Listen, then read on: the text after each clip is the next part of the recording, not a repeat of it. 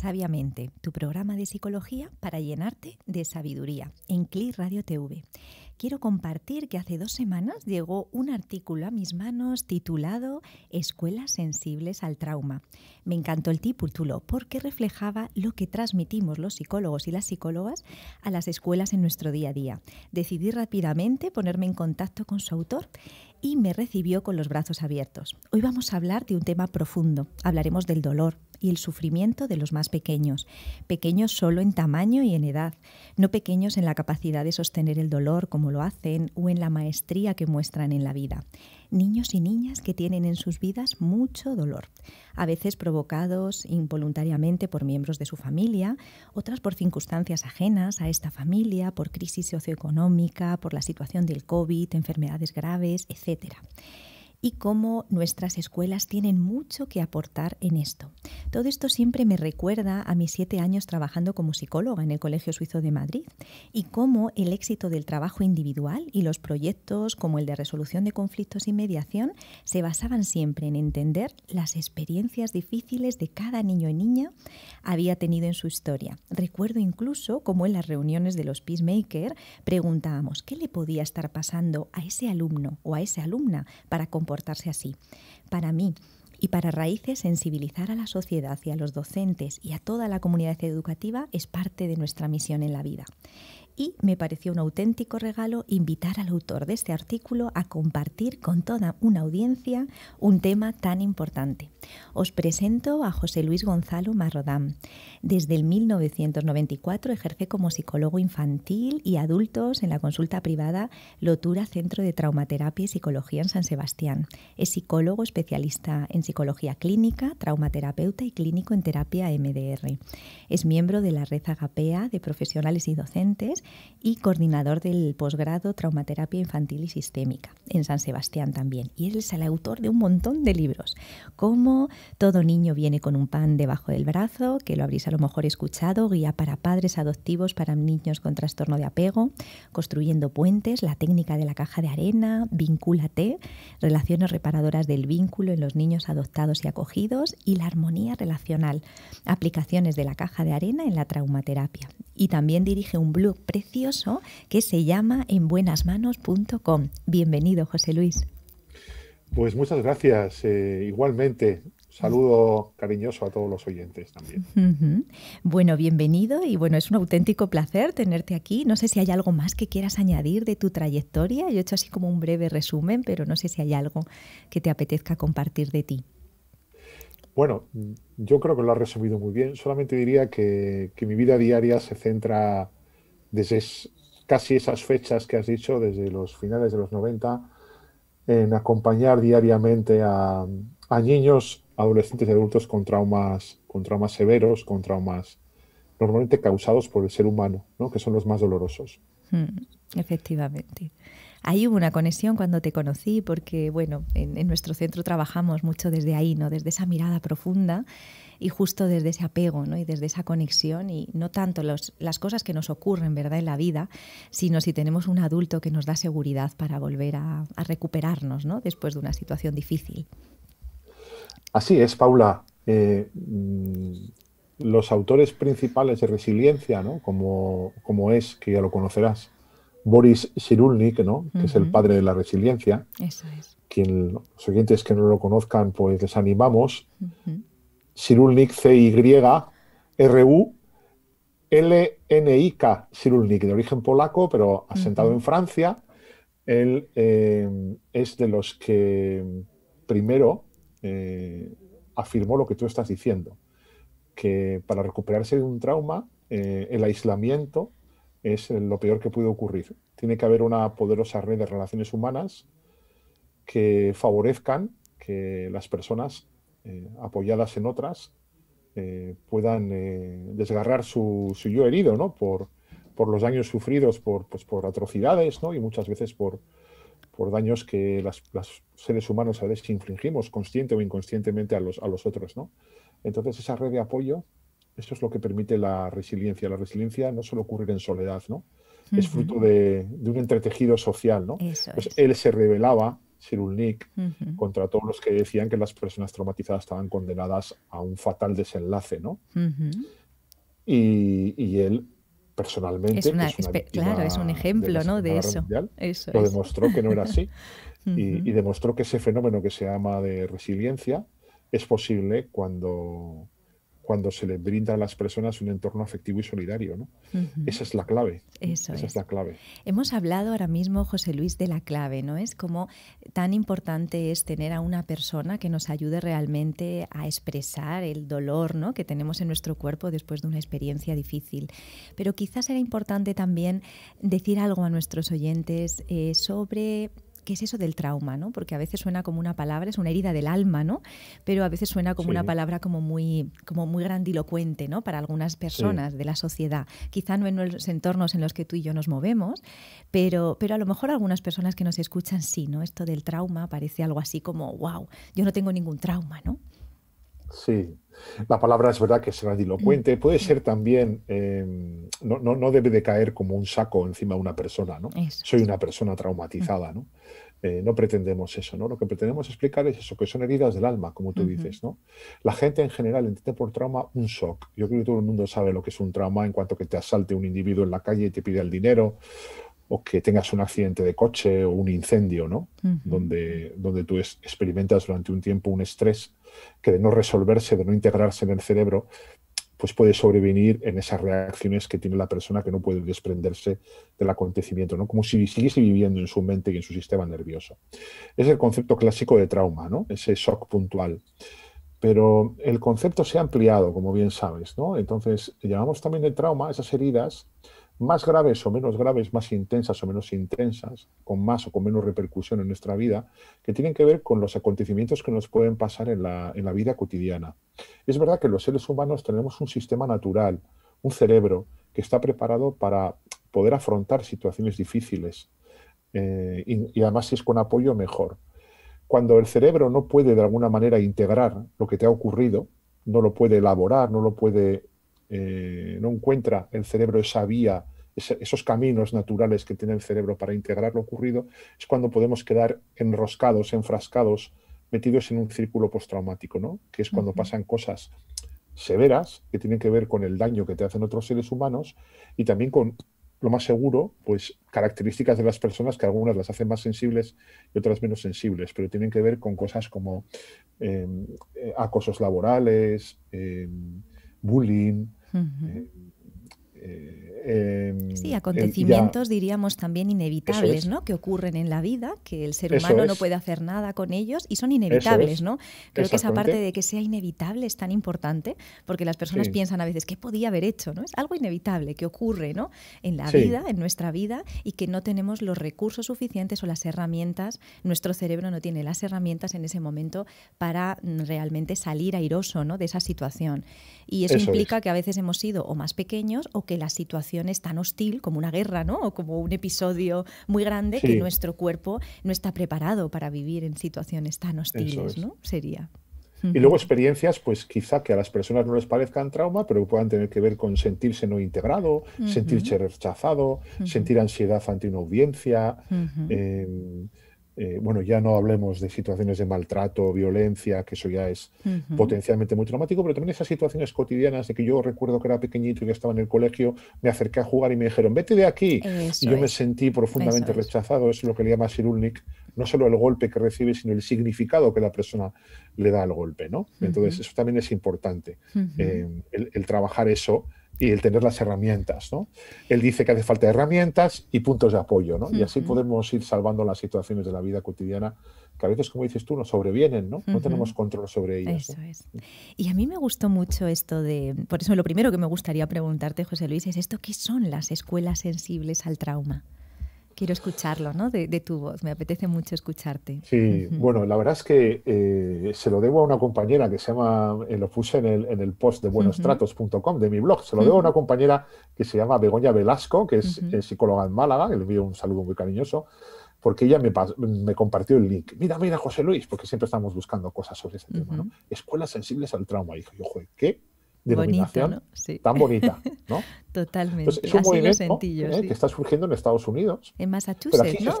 Sí, en Massachusetts, efectivamente, así es. Pero aquí están surgiendo cositas, ¿sabes, eh, Paula? Porque a raíz del artículo en el blog me han escrito diferentes personas de diferentes lugares de España que están investigando sobre, sobre eso. Entonces, se trata de que las escuelas, es decir, vivimos en un mundo cada vez más complicado. Eh, COVID, ¿no? ¿Quién lo iba a decir, no?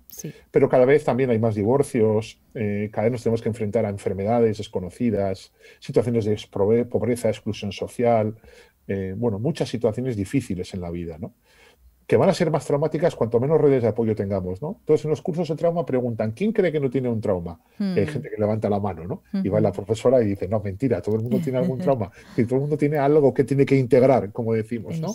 Entonces, ¿qué pasa? Que las escuelas tienen que hacerse cada vez más sensibles a que van a tener alumnado em, con experiencias difíciles, claro. Y que la escuela tiene que construirse en un espacio seguro, tiene que atender al niño, tiene que ser paraguas acogedor, ¿no? Em, porque em, lo, que ocurre es que em, si, no abrimos eh, la escuela a este tipo de, de necesidades, ¿no? Eh, va a haber muchos niños que van a llevar el trauma en silencio. Porque a veces pensamos, bueno, el niño traumatizado a lo mejor montará un pollo en clase, insultará al profe, le, expulsarán constantemente, pero hay niños. No siempre es así, ¿verdad? Tú lo sabes, ¿verdad? Que has trabajado ahí. Mm. Aparentemente parecen que están bien, pero por dentro llevan una procesión. ¿Sabes lo que yo digo, José Luis, cuando vienen a las personas a, consulta, ¿no? Y viene el niño que tiene problemas de conducta y es el que viene a sesión conmigo y veo al hermanito que está en la sala de espera y que está mirando hacia adentro, ¿no? Que al final está muy metido hacia adentro. Ahí es donde veo yo que está mayor el dolor, ¿no? Porque hay algo invisible hay algo silenciado, ¿no? Y ahí es donde, en el cole, donde más foco, ¿no? Yo solía poner, porque creo que ahí mm, hay mucha sombra, ¿no? Mucha oscuridad. Y también siento en esto que dices con lo de la pandemia, que es verdad que ha sido un, nos ha revuelto a todos, ¿no? Y nos ha movido el andamio que teníamos todos dentro. Yo siento que esta situación de pandemia también ha hecho que los niños, tanto niños como adultos, eh, podamos también mm, mover algunos de los traumas que teníamos ahí dentro, ¿no? casi en las guardillas, y de repente esta situación lo que ha hecho que se despierte muchísimo más. Y creo que no va a haber otra ¿no? que tener esa sensibilidad en las escuelas ¿no? para, para atender efectivamente, esto, ¿no? Efectivamente, Paula. ¿no? Entonces, eso, eso es importante, ¿no? Y, y lo que, es lo que se busca con las escuelas sensibles al trauma. Bueno, se busca lo que a lo mejor algunos profesores están haciendo ellos solamente en soledad, pero que debería abrirse a toda la escuela, desde el director hasta el conserje, hasta el conductor del autobús. Eso me, encantó, me encantó. De hecho, había una pregunta que tenía por aquí sobre eso, ¿no? ¿Cómo es eso, no? Que es tan importante que toda la escuela, ¿no? Esté realmente implicada y no solo profesores que lo hacen muy bien, ¿no? Porque hay profesores muy buenos y docentes que todos conocemos que, bueno, que son sensibles realmente, no solo al trauma, ¿no? sino al ser humano que tienen enfrente y al final no lo llaman trauma, pero son capaces de mirar en esa profundidad ¿no? de ese ser humano. Pero... Pues todos estos chicos que tienen heridas, pues el, tutor lo sabe, el director lo sabe, el del comedor escolar lo sabe, lo sabe el conductor del autobús, saben lo que se tenga que saber eh, sin vulnerar el derecho a la intimidad de todo el mundo, pero es bueno saberlo. No tenemos que confundir vulnerar el derecho a la intimidad con no quiero saber nada de la vida personal de mis alumnos. ¿no? Hay muchos alumnos. Porque hay una línea roja, creo, ahí donde dices, hay una línea roja, creo, Eso justo. Hay cosas que a lo mejor tenemos que respetar, pero tampoco no sé nada. Porque hay veces que los alumnos cuentan a los tutores y que al final esto, en casa me pegan. Y además es, es importante aceptar eso, ¿no? Y acogerlo, porque si no es una manera, muchas veces en, consulta nos ocurre, ¿no? Si tú no le preguntas a una persona, oye, te hicieron daño, te pegaron, hicieron, te, tocaron, eso es una manera también de decirle al otro, no pasa nada, está bien que me lo cuentes, ¿no? Estamos hablando de algo que no tiene que ver contigo, sino es una experiencia que has vivido, ¿no? Creo que es una manera, ¿no? De naturalizar y de que la persona se siente menos estigmatizada, ¿no? También. Exactamente. Si se hace con ese chico se le va a coger de una manera diferente. si además es un chico que muestra esos problemas de trauma a través de comportamientos exteriorizados, ¿no? conductas negativas que a veces solamente se etiquetan como, como problemas de, obediencia, de respeto a la autoridad. En realidad, cuando los profesores les dices que algo pasa en la vida de ese muchacho, les permite tener más empatía mm. y tener otro lugar desde donde explicarse el comportamiento del alumno. Entonces es decirle, te vamos a ayudar, vamos a estar a tu lado, sabemos que estás pasándolo muy mal, que estás sufriendo, te reconocemos ese sufrimiento. Ahora tampoco podemos permitir que todo el comportamiento que tú tengas aquí tenga carta libre, ¿no? Porque todo el tema del límite también es importante, ¿no? Pero esa mezcla entre empatía y límite ayuda mucho a estos chicos, ¿no? Entonces, Paula, mm, pues... Yo recuerdo... Si hace falta que alguien le recoja al entrar, pues alguien le recoge al entrar, ¿no? Si hace falta que mm. un cierto profesor adapte el material, lo adapta, ¿no? Si hace falta que el comedor escolar alguien esté un poquito más pendiente de ese chico porque ahí se disrumpe más o, se rompe más, pues alguien está un poquito más pendiente. de, eso se trata. Mm, ¿eh? De hacer esa... Esto, fíjate que ayer una compañera en un curso que estábamos dando, eh, dicen que esto en Inglaterra lo están haciendo desde hace más de 25 años. Crear ese aula que sea ese entorno de seguridad y que el colegio sea ese entorno de seguridad donde el niño pueda conectar ¿no? sentirse conectado con que alguien ve lo que le está pasando. ¿no? Eso es un poquito el concepto realmente. Yo recuerdo... humanizar, humanizar. Yo recuerdo cuando trabajaba en el cole suizo, José Luis, que me acuerdo de los profesores de BATS, que sí que es verdad que tenían como, bueno, les cuesta mucho más ¿no? conectar con una parte quizá más profunda. Las profesoras de infantil están más sensibilizadas, pero en BATS recuerdo de hablar con un profesor y le contaba, mira, este alumno me ha dejado que te cuente esto sobre lo que le ocurre, sobre lo que le pasa, y entonces me decía, y entonces Paula, cuando se porte mal, le apruebo. Y yo, no, no, que no es eso ¿no? Pero claro, hay una parte en la que también los profesores ahí, hay una parte en lo que, ¿qué hacemos, ¿no? Con todo esto, ¿no? ¿Cómo, cómo, cómo realmente acogemos, ¿no? Se acoge, ¿no? Ese dolor, como tú has dicho, lo reconocemos y eso no quiere decir, ¿no? Que, que un niño pueda hacer lo que quiera y que esté justificado cualquier comportamiento, sino al contrario, ¿no? Que, que estamos acogiendo el dolor y que si acogemos ese dolor probablemente no aparezca una conducta negativa o destructiva, ¿no? Al contrario, ¿no? Efectivamente, Paula, hmm. eh, estoy completamente de acuerdo contigo porque yo les decía esta semana en un seminario a, profesoras de pedagogía terapéutica de las aulas de hmm. educación especial, la conducta negativa eh, va a ir disminuyendo en la medida en que se le dedique tiempo de calidad y personalizado al alumno, porque se va a sentir recogido. Muchos lo que están diciendo hmm. es un SOS, estoy aquí, eh, te quiero comunicar algo, y ahí está. Mm. Luego también hay algunas pautas interesantes para intervenir con ese tipo de alumnado, ¿no? Que a veces eh, lo que hacen los profesores es, y yo les comprendo porque se sienten realmente desautorizados delante de un grupo, ¿no? Y tener un alumno que te mm. está cuestionando y que los demás ven que tú pierdes la autoridad es muy duro para ellos. Mm. Pero hay alguna serie de pautas que a veces pueden reconducir ese tipo de cosas sin tener que entrar en la lucha de poder, ¿no? Que es donde no debemos intentar caer, ¿no? O, entonces, son sencillas de recomendaciones, pero ayudan, ¿no? Muchas veces. Eh, porque el profesor también le pedimos todo al pobre, ¿no? en el buen sentido lo de pobre de la palabra, quiere decir que le ponemos mucho peso encima. ¿eh?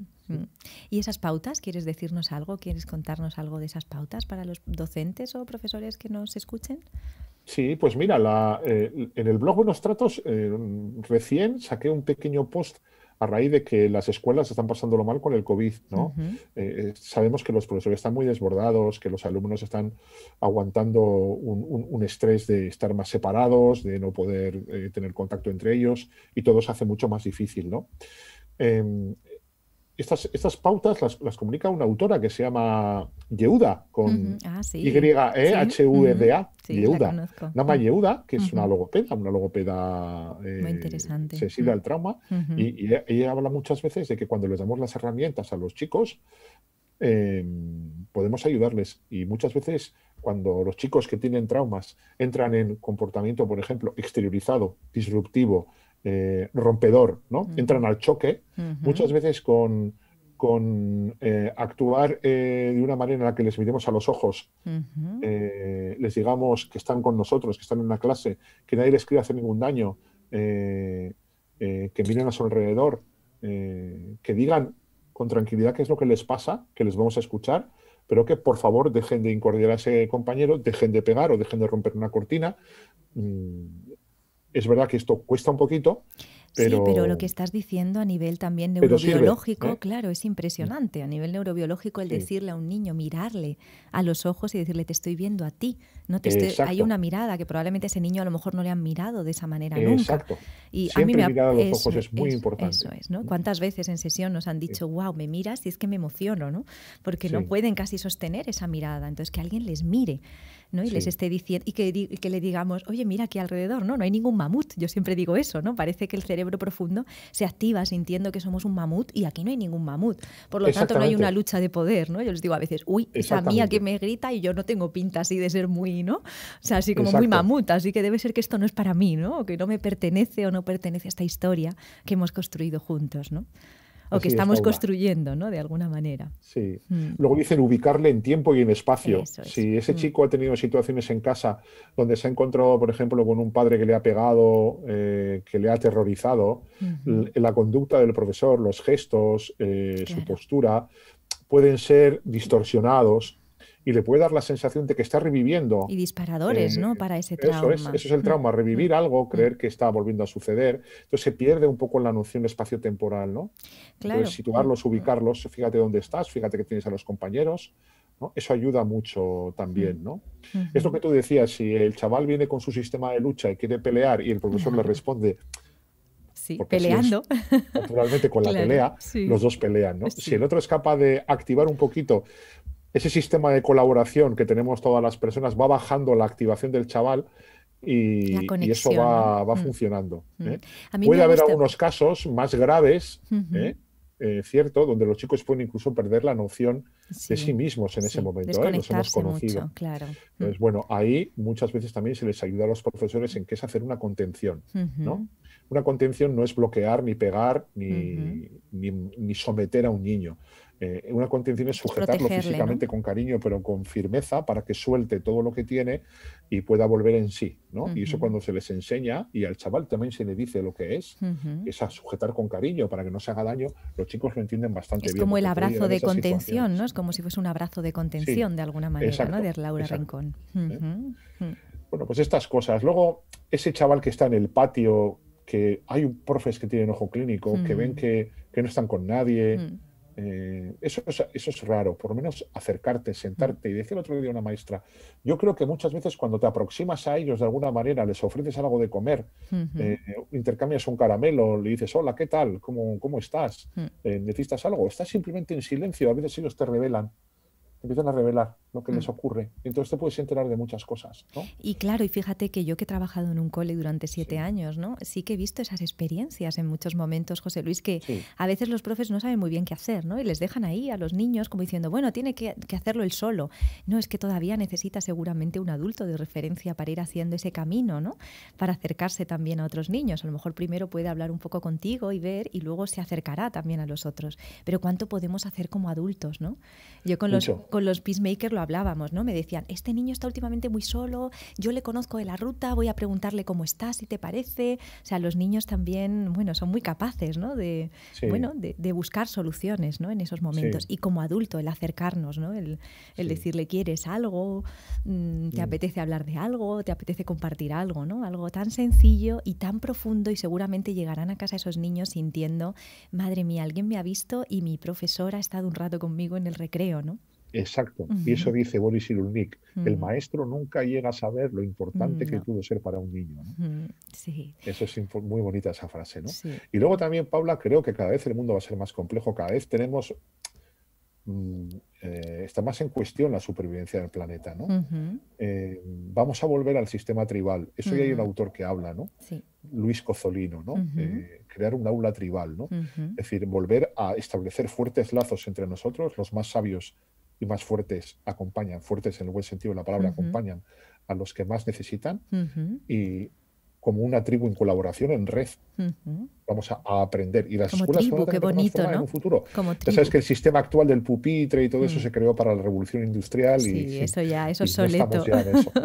Está Entonces obsoleto. ahí va a cambiar. Yo creo que Mm. va a cambiar eso. A mí me gustaría también sensibilizar un poco, eh, que pudiéramos sensibilizar a las escuelas en, en ese tema cuando aparecen problemas de aprendizaje, ¿no? Hay una, yo creo que hay una ola muy grande de ver que si un niño tiene un problema de atención, de repente ya es que, bueno, pues tiene una hiperactividad, un problema de atención, cuando en realidad en muchos momentos lo que está pasando es que hay trauma, ¿no? Y que en realidad cuando una persona ha vivido una situación tan compleja en casa, ¿no? Y está todavía en shock y está en supervivencia, ¿no? Llegando de Afganistán, como digo yo, pues probablemente tú te sientas en un mm. pupitre y todavía no puedes, ¿no? Es que tus piernas todavía tiemblan, tu corazón, ¿no? Y el, el sistema está todavía reponiéndose de ese shock, ¿no? Y en muchos momentos, eh, bueno, no sé, eh, me gustaría, sí, que cómo es eso, ¿no? Que, cómo podemos transmitir también un poco a los docentes, porque hay muchas veces que se ponen etiquetas muy rápidas. Ahora está de moda esto de la hiperactividad y la atención, y yo me encuentro debajo estrés postraumático, bueno, no sé cómo diría, ¿no? Casi siempre, ¿no? o por lo menos muchas veces, ¿no? Así es como dice Jorge Barudi, ¿no? que mm, escribió ese libro Jorge Barudi es un, es un referente mío, es un amigo y maestro, eh, es el que nos formó, ¿no? Él tiene un libro del año 98 que es El dolor invisible de la infancia, ¿no? Mm. Eh, que es lo que tú hablabas antes, Paula, que está invisibilizado el dolor. Em, él dice, la visión del niño tiene que ser sistémica, ¿no? Mm. El niño en su sistema, en su familia, en su colegio, en su mm. entorno de amistades. Y eh, la visión no puede ser patográfica, llama él, ¿no? Es decir, solo vamos a mirar el trastorno. Ya está. Diagnóstico, trastorno, tratamiento. Al final, esas etiquetas diagnósticas es el nombre que la psiquiatría oficial ha puesto a síndromes, de, lo que, de que algo está pasando. Llámale como quieras, hiperactividad o como te guste llamarlo. Pero eso nos indica, como dices tú, que hay que investigar hay un, es un pico de un iceberg, es un pico ¿eh? de un iceberg que hay que deshelar lo que está debajo. Que incluso aunque sea una familia en principio donde no veas una gran prominencia del trauma, el tener un chico que pueda tener una tendencia a ser un chico más movido, más inquieto, ya le va a exigir a una familia y le va a exigir una intervención concreta y se puede caer en el maltrato si un niño te viene con un temperamento un poquito más difícil y no sabes cómo conducirlo. Incluso si ha tenido. Se puede estropear y puede traumatizar a la familia entera. Entera, ¿eh? claro, claro. Sí, o que haya tenido una situación que no se han dado cuenta, perinatal o no sé, difícil, ¿no? Un parto complicado, una enfermedad o que haya estado muy hospitalizado y el niño está todavía con esas experiencias y si eso no se comprende, al final los padres entran ¿no? dentro de ese, de ese dolor, ¿no? Eso es. Y otras muchas veces nos encontramos que la hiperactividad tiene divorcios enconados, divorcios dolorosos, situaciones de maltrato en casa. Eh, bueno, nos encontramos con cosas.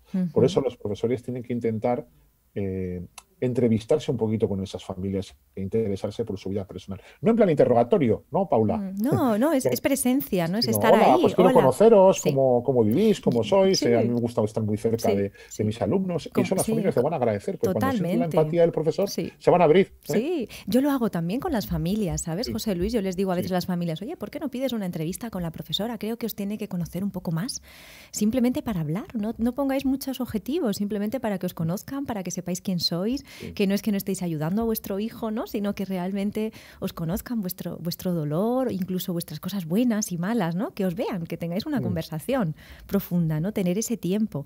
Creo que deberíamos tener más ese tiempo en las escuelas también, para conocernos, ¿no? para conocer a las familias, para conocer a los docentes, ¿no? y, bueno, y lo que hay debajo ¿no? de, de, los comportamientos difíciles de cada uno, ¿no? de todos, porque al final todos en un momento determinado pues no hacemos las cosas fenomenal, ¿no? Exacto. Luego me gustaría a mí decir un par de cosas, si me las permites. Claro, ¿eh? Estás, es todo tuyo. no van a ser políticamente muy correctas, pero yo quiero decirlas porque pues me parece que es importante. Me preocupan los centros escolares que están muy volcados en el academicismo, en la nota, en el resultado. A mí también. En, en solo miran eso. Sí. Y lo digo porque tengo a mi querida ahijada Yanire haciendo el segundo de bachiller y me dice, es mm. una pena, es una pena que todos estemos de los nervios porque no vamos a sacar la nota de selectividad. No sé, esto en lugar de estar disfrutando ¿eh? del, aprendizaje, ¿no? Es una pena. No disfrutan nada. Nada, no hay curiosidad, no hay eso. Nada, es todo un estrés, un estrés, y hay profesores además que no conectan en absoluto con ese tipo de situaciones. Los hay. Los hay sensibles, pero los hay que no conectan nada. A mí me preocupa esa, esa competencia ultranza. Eso es la competencia, justo. Además ahí lo que ocurre es que el, cerebro se llena de cortisol, que es la hormona del estrés, y el hipocampo no funciona y por lo tanto pues los procesos de memoria no funcionan. Entonces estamos generando justo lo contrario, ¿no? Lo opuesto a, lo que queremos, ¿no? Que realmente aprendan, que se lleven esos conocimientos. Sí. Mm. Y luego, eso me preocupa mucho, Paula, porque, porque además luego si te das cuenta, eh, a mí nadie me ha preguntado nunca qué notas saqué en matemáticas o en ciencias naturales. Me encanta eso, efectivamente. A mí tampoco. Nada. ahí algo no funciona entre la vida académica y la vida laboral. yo de hecho aprovecho y lo digo, ¿vale? Yo digo, yo cuando estaba en primero de BUM me quedaron cuatro en la primera, en la primera ¿no? evaluación y la gente me dice, ¿en serio? Digo, sí, luego me saqué dos carreras y pensé que no servía para estudiar. Y me decían, ¿de verdad, Paula? ¿De verdad? O sea, que pensaban que no servía para estudiar, ¿eh?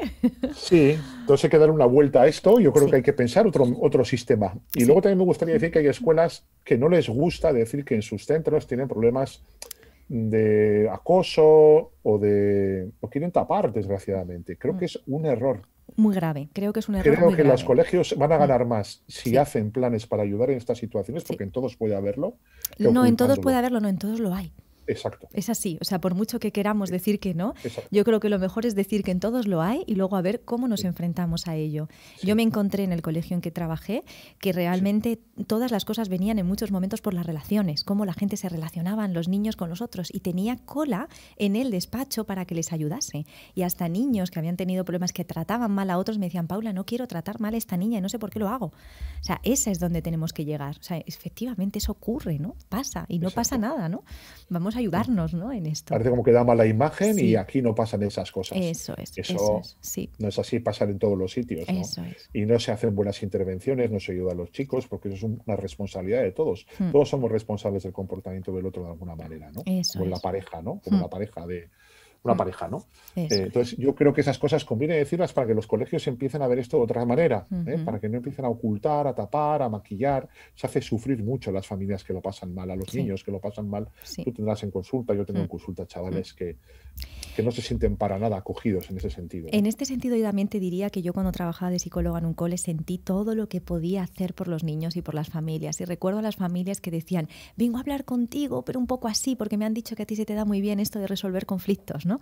Y mm. entonces, claro, me lo contaban, ¿no? Como, pero un poco, un poco culto, ¿no? Como diciendo, es que a veces decimos las cosas y es peor, ¿no? Porque hay veces que, que cuando no sabemos bien intervenir, se pueden hacer mm. las cosas muy mal, ¿no? Intentamos ayudar y al final a los niños les dejamos en una situación muy insegura y muy complicada. Cuando las cosas es cierto que cuando se saben hacer, para mí son muy fáciles en el tema de los conflictos. No, hay cosas que se dicen muchas veces que esto de resolver conflictos en la escuela es muy difícil. Yo no tengo la, yo no tengo esa experiencia. Creo que cuando uno mira desde esta mirada y está presente, puedes hacer las cosas mejor o peor, pero no es tan complejo. Creo que es mucho más complejo hacer las cosas difíciles. Cuando escuchas a los niños, cuando escuchas a los maestros y cuando escuchas a las familias, al final te das cuenta que, que lo que falta es comunicación y diálogo. Y si le damos ese espacio, pues ya está, no hay competencia, ¿no? ¿Qué competencia no habría si todos tenemos un espacio y un lugar, ¿no? Así es, así mm. es. Mm. Estoy completamente de acuerdo contigo. Mm. Has dicho que había tres cosas, has dicho dos. La parte que, tenemos que sensibilizar mucho a nuestra sociedad, que cuidado con esas escuelas que dan tanta importancia, o todos, ¿no? Al final como sociedad damos tanta importancia a lo académico y estas escuelas o lugares en los que decimos que no hay problemas, no, no hay conflictos, o en mi, en mi colegio no hay bullying, o no hay acoso, ¿no? no hay experiencia. creo que eran dos, no me acuerdo de la tercera, mejor he dicho tres. No, bueno, a lo mejor me he quedado yo con ganas de escuchar más, porque como me han gustado mucho, he dicho, adelante, adelante, quiero saber más. Bueno, yo también he trabajado en un colegio y compartimos la misma experiencia, Paula. También he sido psicólogo escolar durante unos cuantos años. Es precioso. Y yo creo que los dos hemos vivido cosas muy parecidas, ¿no? Y a veces nos hemos tenido que pelear hasta con dirección. Sí. Muchas veces. Sí, yo una vez, sí, yo una vez tuve una experiencia muy bonita que le dije una vez a un director, le dije, mira, es que yo eh, tengo que decirte que esto que me ha pasado no me ha gustado. Digo, pues que yo estoy enseñando a los niños que se enfrenten a las situaciones que no les gustan. Y entonces resulta que es que yo tengo que dar ejemplo y yo te lo tengo que decir a ti, ¿no? Entonces, o sea, que tenemos que, ser, ¿no? Porque también lo que ocurre es que dentro del claustro pueden pasar las mismas cosas que a veces pasan, ¿no? Dentro del patio del colegio, ¿no? Y, era muy bonito verlo, ¿no? De esa manera. Exacto, ya me acuerdo de la tercera. ah, sí, ¿ves? Había alguna y si no era, ahí está. Salió, salió al principio antes y era eh, que aquí en España se están haciendo cosas interesantes. ¿eh? Ah, sí. Por ejemplo, además incluso si, si, si te apetece algún día hablar con ellos, te pongo en contacto y me encantaría. El programa. Claro Pero me escribieron, por ejemplo, de Murcia, donde van a intentar llevar el concepto del cuidado a las escuelas. ¿eh? Y también unas profesoras de aquí, del País Vasco, llevan mm, como dos años trabajando también en, este concepto de las escuelas sensibles al trauma. ¿no? Em, yo, yo, creo que, que, todo esto es eh, muy, muy bueno ¿no? para, para ir metiendo esta, sí este concepto ahí dentro, ¿no? Para que vaya calando, para que vaya entrando. Sí, esta es la idea un poco también de, este programa, ¿no? Como sensibilizar un poco a otras cosas que están ocurriendo, unirnos, ¿no? Y sentir, hay muchos que estamos haciendo lo mismo, ¿no? Y que estamos con esa misma visión. Exacto. Y este fin de semana, pues el director de lo que aquí llamamos ICASTOLA, que habrá oído ese nombre, que significa Escuela Vasca, que es donde se imparte la enseñanza completamente en euskera. Es una pena que no lo podamos poner, porque no va a entender nadie ni patata. Claro, Entonces no se trata de eso, por supuesto, pero es bonito porque se llama la Icastola Asular. Eh, eh, Asular es el nombre de un escritor vasco muy conocido, pero en ese vídeo, que yo lo puedo por lo menos contar brevemente, em, hablan un poco de, cómo es eh, la pedagogía de la confianza que ellos mm, utilizan. Entonces había una niña acogida, una, familia acogida, con lo duro que es para los chavales acogida estar en los colegios también, que saldrá el tema de la familia, no hmm. familia, eso también hay que tener sensibilidad ¿eh? para hablar de muchos tipos de familia y no de la hmm. familia clásica. ¿no? Hmm. Y esa chavala leía un texto de cómo se había sentido en la escuela, ¿no? y salían sus padres de acogida. Y la, la cría hablaba pues, muy bien, de sentirse emocionalmente muy bien. ¿no?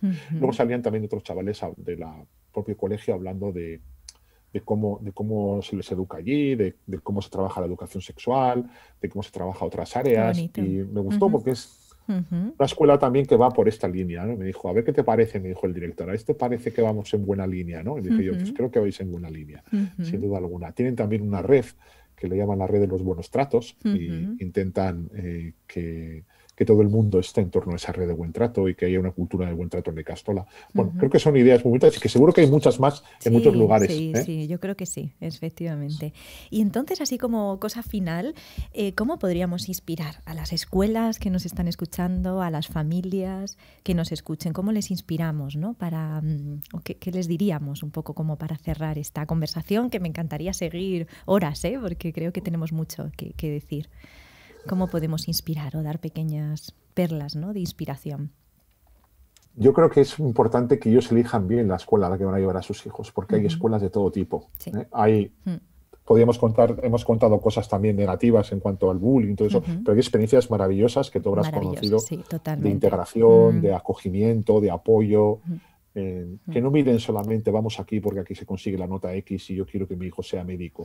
Eh, que miren esa parte que tiene que ver con hablar con otras familias y que les cuenten cómo les fue allí, cuál fue el grado de predisposición, de, ayuda, de apoyo, de estar encima, de, interesarte por la vida personal del alumno. Eso me parece que yo les, les inspiraría a que miraran eso, que no se fijen solamente en, el numerito, ¿no? ¿Eh? Sí. Al final es que todos estemos más abiertos, ¿no? A mirar más allá.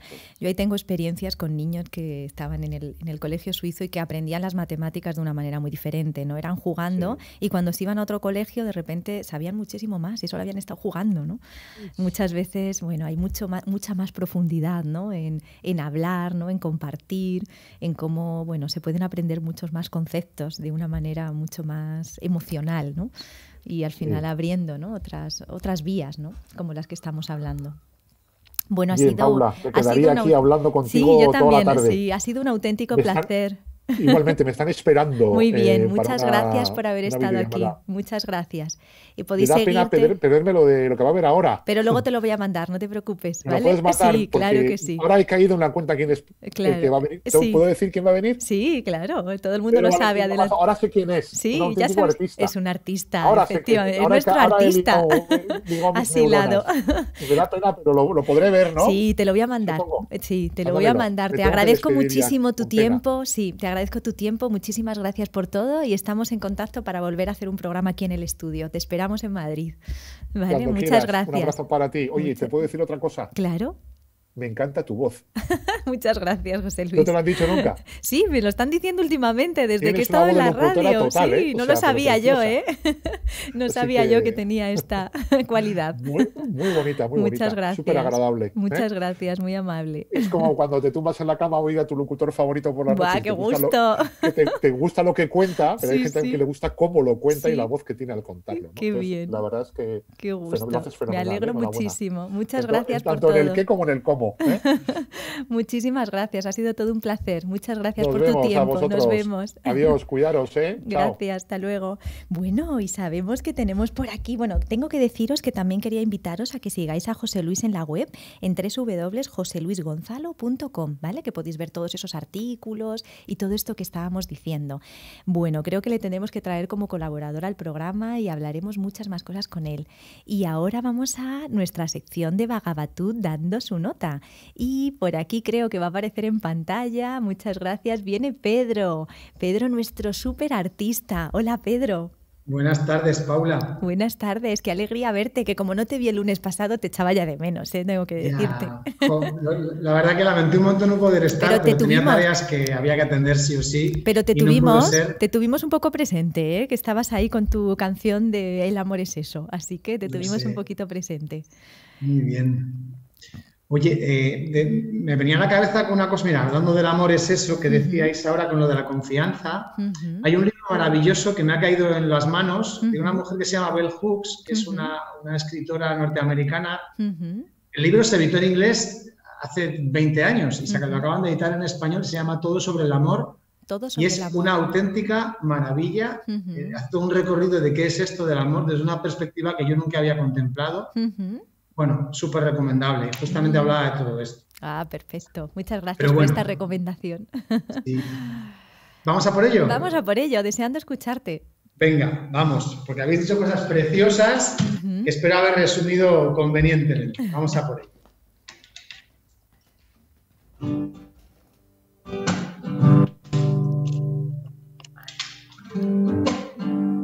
Aislarse es la peor alternativa la clave está en tejer redes de apoyo que contengan y resuelvan los escollos que nos lleven a cambiar de perspectiva. Lunes con Paula y tardes de radio.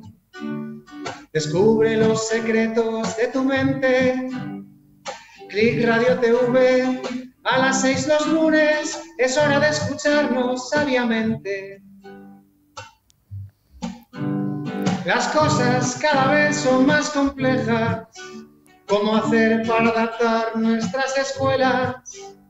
Que entiendan y recojan las secuelas, que los golpes que la vida a veces deja. Mírame a los ojos, mírame al completo. Hay mucho escondido tras este niño inquieto. Soy mucho más que un síntoma, no soy un diagnóstico amor y confianza son mi mejor pronóstico. ¡Guau! ¡Bravísimo! ¡Qué bonito! Muchísimas gracias, Pedro. Precioso, precioso, precioso. Muchísimas gracias. Bueno, ya sabéis que para seguir escuchando y disfrutando de Vagabatú en todas sus facetas, le podéis seguir en www.elhilodelasemociones.com. Y bueno, ya tengo que hablaros del siguiente programa. El siguiente programa será un viaje hacia el neurodesarrollo infantil y sé que muchos de vosotros tenéis muchas ganas de que venga Javier Estrada Campayo, que es psicólogo y director junto conmigo de Raíces y experto en neurodesarrollo. Y vamos a hablar cuál es ese mejor antídoto para sentar las bases de un aprendizaje exitoso en el futuro, de una manera un poco diferente desde el cuerpo. Así que nada, llega el momento de cerrar.